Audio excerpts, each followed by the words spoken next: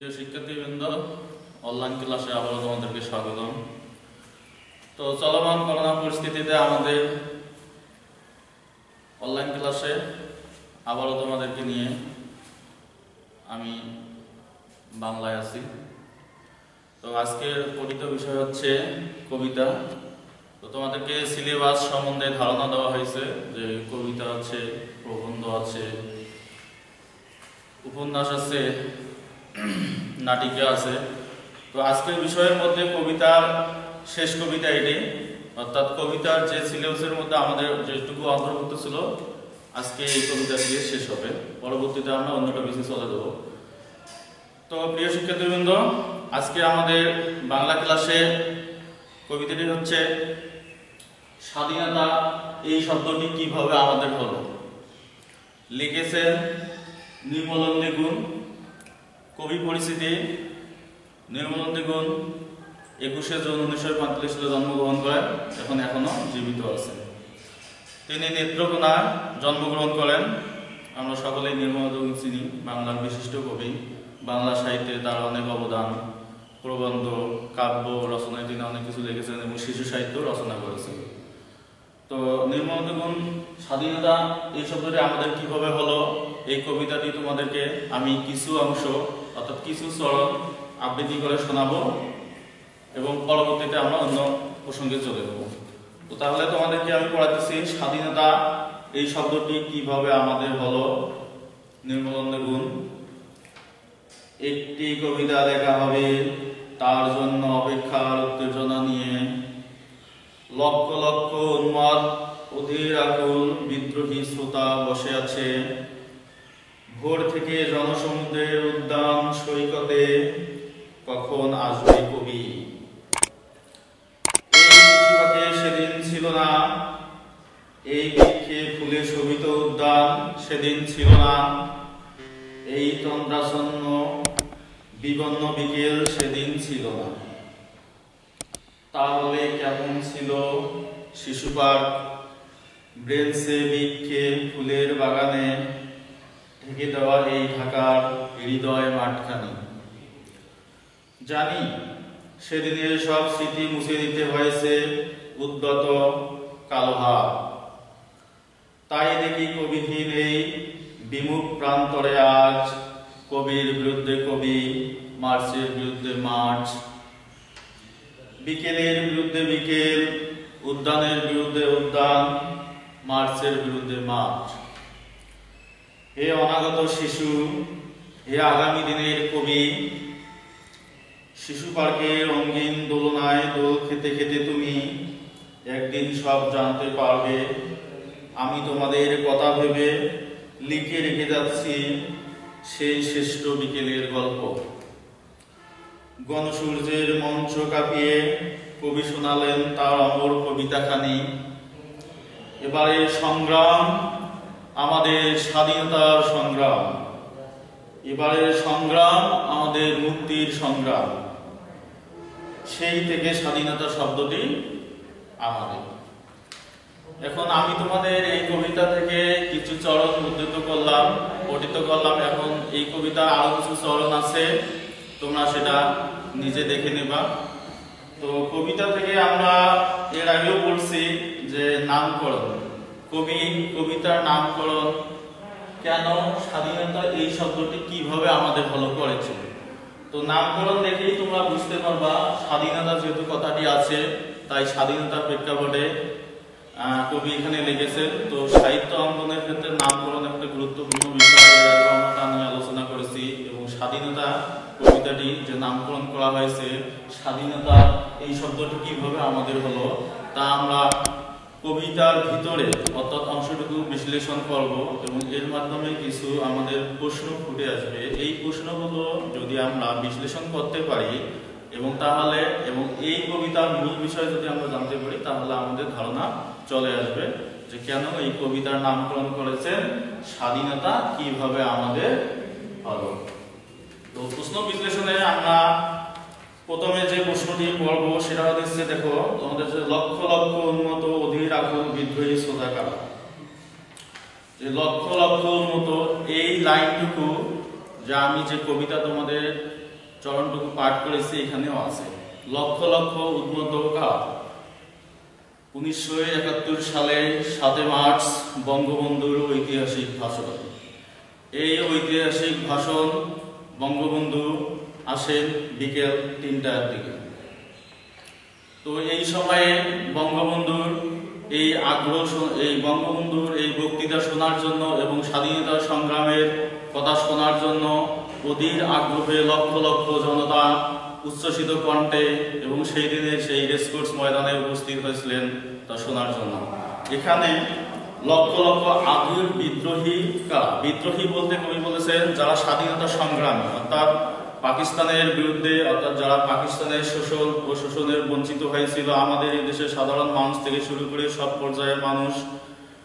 তো এই স্বাধীনতার জন্য বিদ্রোহীরা সেদিন রেসকোর্স ময়দানে এসেছিলেন। স্বাধীনতার সংগ্রামে অংশগ্রহণ করার জন্য এবং দেখা যাচ্ছে আমাদের নেতা কি বলতে চাইতেছেন এবং কীভাবে স্বাধীনতা সংগ্রাম হবে তা শোনার জন্য। তো কবি এখানে লক্ষ লক্ষ শ্রোতা বলতে সেই বিদ্রোহী শ্রোতাদের বলছে যারা স্বাধীনতাকামী জনতাকে বোঝানো হয়েছে। এখন অন্য প্রশ্ন বিশ্লেষণে আমরা আসব। দেখা যাচ্ছে যে এই শিশু পার্ক একদিন ছিল না। কোন শিশু পার্কের কথা বলানো হয়েছে? কবিতার চরণে আমরা পড়েছি, এই শিশু পার্ক একদিন ছিল না। উনিশশো একাত্তর সালের পূর্বে এবং একাত্তর সাল পর্যন্ত রেসকোর্স ময়দান তথা বর্তমানে সৌরাব্দী উদ্যান নামে পরিচিত। সৌরাব্দী উদ্যানের তথা ময়দানের এক পাশে পূর্ব দিকে সেখানকার কথা বলানো হয়েছে যে সেখানে কোনো শিশু পার্ক ছিল না। আমরা জানি, তো স্বাধীনতার পরবর্তী সময়ে ময়দানের উত্তর পাশে কিছু অংশ জুড়ে পার্ক, শিশু পার্ক স্থাপিত হয়েছে। তো এই শিশু পার্ক সম্বন্ধে বলানো হয়েছে, অনেকেই বলছে যে অনেকেই শিশু জানে না। এই শিশু পার্কে যারা আসে মূলত শিশুরা আনন্দ খেলা তথা মন ও বিনোদনের জন্য শিশুরা এখানে চলে আসে। তো এই শিশুরা হয়তো অনেকেই জানবে না বা জানে না যে এই শিশু পার্ক কীভাবে এলো। বা একদিন এই এখানে শিশু পার্ক ছিল না।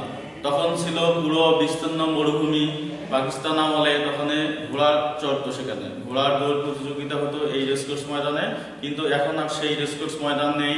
পুরা ঢাকার মুখে সেখানে ঢাকা বিশ্ববিদ্যালয় প্রাঙ্গণ এবং শাহবাগ জুড়ে এখন অনেক বিস্তৃত অঞ্চল জুড়ে অনেক কিছু জুড়িয়ে রয়েছে। তাই সেদিনের সেই ঢাকা শহরে সেই রেসকোর্স ময়দানের কথা উল্লেখ করা হয়েছে। তো একাত্তর সালে এবং পূর্ববর্তী সময়ে সেই রেসকোর্স ময়দানে কোনো শিশু পার্ক ছিল না, ছিল শুধু বঙ্গবন্ধুর স্মৃতি বিজড়িত সেই মঞ্চ, সেই উত্তাল মঞ্চ।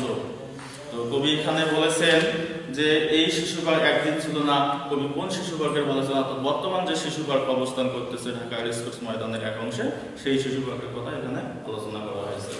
তো অন্য প্রশ্ন বিশ্লেষণে আমরা দেখব যে, কখন আসবে কবি, কে কবি এবং কেন আসবেন এখানে কবি নির্মলন্দ গুণ এই কবিতায় কবি বলতে জাতির জনক বঙ্গবন্ধু শেখ মুজিবুর রহমানকে বলেছেন, একজন কবি যেমন তার কবির লেখনীর মাধ্যমে আত্মপ্রকাশ করেন, অর্থাৎ মানুষের মনে বিস্তৃত জায়গা করে নেন এবং তাকে বিভিন্নভাবে উদ্বুদ্ধ করেন, ঠিক তেমনি রাজনীতির কবি বঙ্গবন্ধু শেখ মুজিবুর রহমান, জাতির জনক, তিনি তো সমস্ত জনতাকে এবং শ্রোতাকে তথা সারা দেশের বাংলার মানুষকে স্বাধীনতা সংগ্রামে উদ্বুদ্ধ করেছেন। এখানে তার কথায় এবং তার তার অমর কথায় ফুটে উঠেছে স্বাধীনতা সংগ্রাম, কীভাবে আমরা স্বাধীনতা সংগ্রাম পেলাম এবং তার নেতৃত্বে কীভাবে সাধারণ জনতা তথা সব মানুষ কীভাবে মুক্তিযুদ্ধ অংশগ্রহণ করেছে, সেই কথা বলানো হয়েছে। এখানে কবি বলতে যত রাজনীতির কবি তথা বঙ্গবন্ধু শেখ মুজিবুর রহমানকে বোঝানো হয়েছে।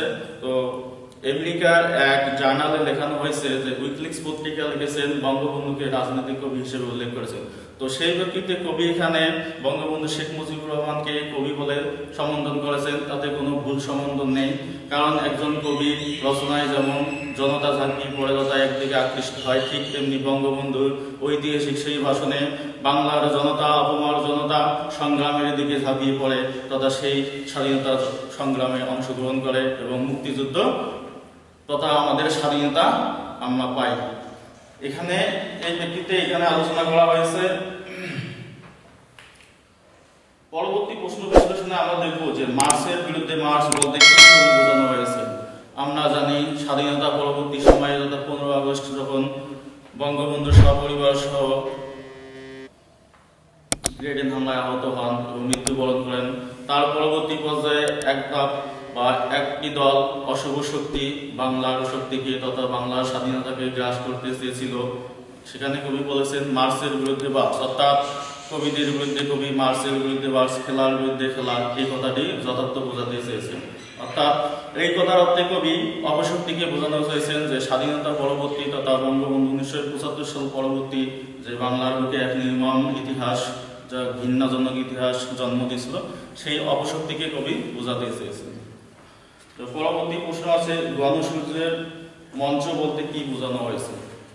গণসূর্যের মঞ্চ। সূর্য যখন অনেক দূরত্ব থেকে তাপ দেয় এবং তার বিকিরণ রশ্মি চারিদিকে ছড়িয়ে পড়ে, ঠিক তেমনি জাতির জন্য বঙ্গবন্ধু শেখ মুজিবুর নেতৃত্বে তার ডাকে উত্তাল বাঙালি সব সাড়া দিছিল তিনি যখন রেসকোর্স ময়দানের ঐতিহাসিক সেই মঞ্চে উঠে বসলেন এবারের সংগ্রাম, আমাদের মুক্তির সংগ্রাম এবারের সংগ্রাম, স্বাধীনতার সংগ্রাম।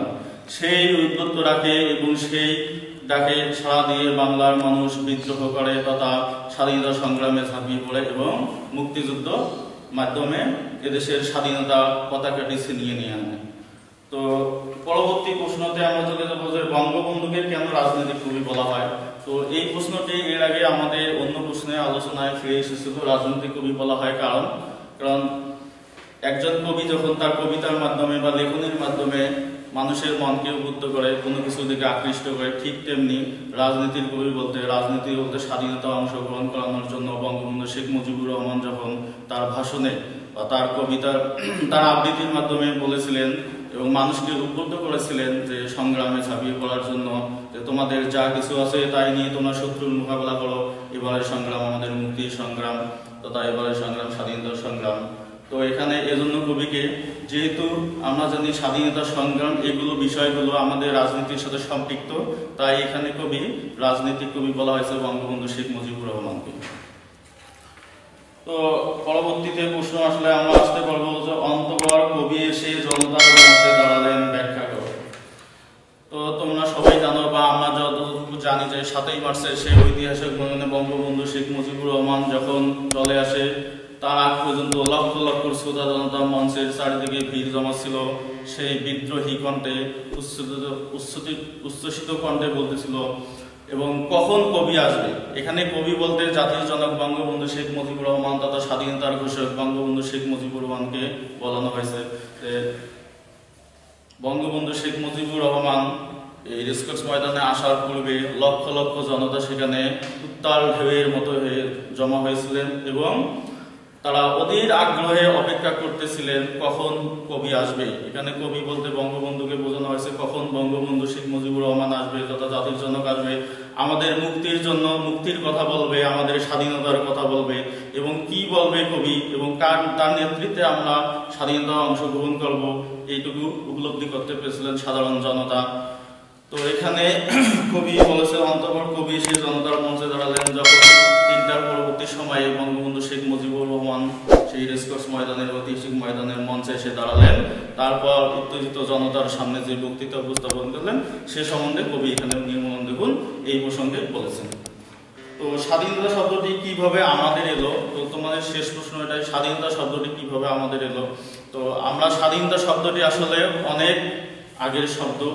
তথা স্বাধীনতা একদিনে যেমন আমাদের আসেনি, অনেক পরিশ্রম, অনেক অক্লান্ত নির্যাতন, শোষিত, নিপীড়িত হওয়ার মাধ্যমে স্বাধীনতা শব্দটি এসেছে এবং আমরা স্বাধীনতা অর্জন করেছি। তো বাংলাদেশ এরকম একদিন স্বাধীন ছিল না।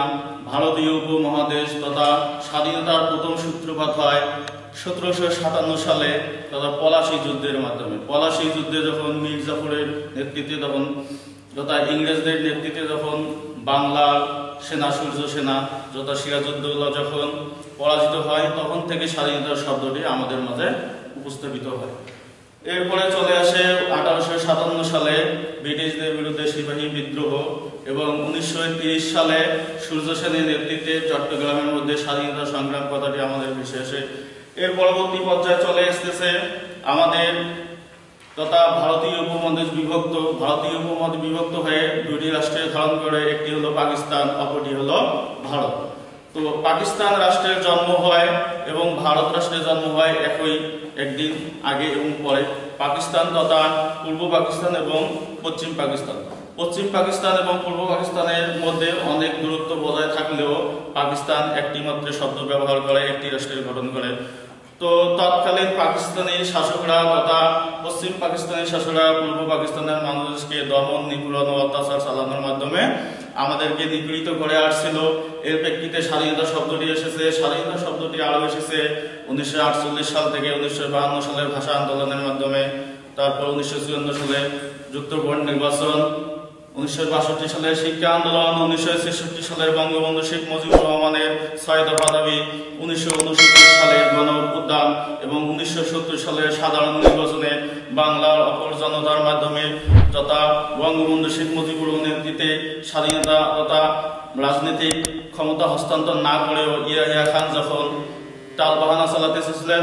তার প্রেক্ষিতে উনিশশো একাত্তর সালে সাতই মার্চ বঙ্গবন্ধু শেখ মুজিবুর রহমান রেসকোর্স ময়দানে সেই ঐতিহাসিক মাঠে ভাষণ দেন এবং অপমার জনতার উদ্দেশ্যে বলেন, তোমাদের যা কিছু আছে, তোমাদের তাই নিয়ে প্রস্তুত থাকতে হবে।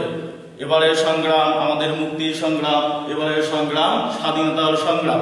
এর মাধ্যমে উনিশশো পঁচিশ সাল, উনিশশো একাত্তর সালের পঁচিশে মার্চে তথা বঙ্গবন্ধু শেখ মুজিবুর রহমানকে গ্রেপ্তার করার মাধ্যমে তখন সেই রাত থেকে আমাদের শুরু হয় স্বাধীনতার শব্দটি আরও বিকট আকারে ধারণ করে এবং তার পরবর্তী সময়ে নয় মাস রক্তক্ষয়ী যুদ্ধের মাধ্যমে তিরিশ লক্ষ মানুষ এবং দুই লক্ষ মা বোনের ইজ্জতের বিনিময়ে আমরা সেই স্বাধীনতা শব্দটি পেয়েছি এবং সেই স্বাধীন শব্দটি এসেছে আমাদের সূর্য পতাকা ছিনিয়ে নিয়েছি। তখন থেকে আমরা স্বাধীনতা লাভ করি এবং তখন থেকে আমাদের স্বাধীনতা শব্দটি এখানে এসেছে। তো প্রিয় শিক্ষার্থী বন্ধু, আজকে তোমাদের এই কবিতা নির্মল দ্বিগুণ এটাই বোঝাতে চেয়েছে যে স্বাধীনতা আসলে আগামী দিনে শিশুরা স্বাধীনতা সম্বন্ধে জানবে, কীভাবে আমাদের স্বাধীনতা আসলে, আমরা কীভাবে স্বাধীনতা পেলাম কার নেতৃত্বে আমরা স্বাধীনতা পেলাম তার অমর বাণী এবং তার অমর অমর কথাটুকু আমাদের হৃদয়ের মাঝে ধারণ করব। যে বঙ্গবন্ধু বলেছিলেন, এবারের সংগ্রাম আমাদের মুক্তির সংগ্রাম, এবারের সংগ্রাম আমাদের স্বাধীনতার সংগ্রাম।